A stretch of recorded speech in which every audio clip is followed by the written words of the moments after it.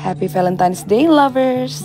So, I had this thing planned for my boyfriend. He cannot spend Valentine's Day with me today because he has a Valentine's dinner going on with his restaurant in Bali.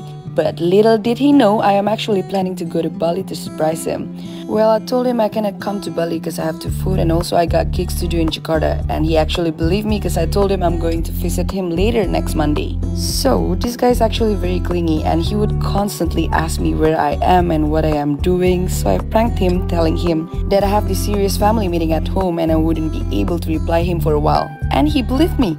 And my mom and sister were actually cooperating with me. Ha! Well, the plan went really well because he was currently occupied too with the rest of prep, so I had a really smooth flight to Bali that he didn't see it coming at all. I was actually in a rush because I actually booked a table the restaurant dinner at 9 and I arrived around like 7.50. I booked a table under the name Sasha using my manager's credit card so he wouldn't notice at all.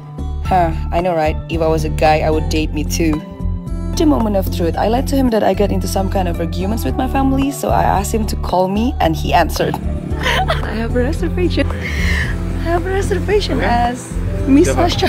Miss Sasha. That's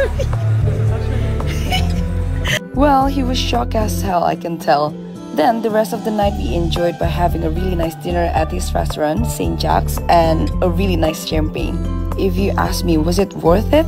It was totally worth it. Seeing your loved ones with such happy smiles on their face.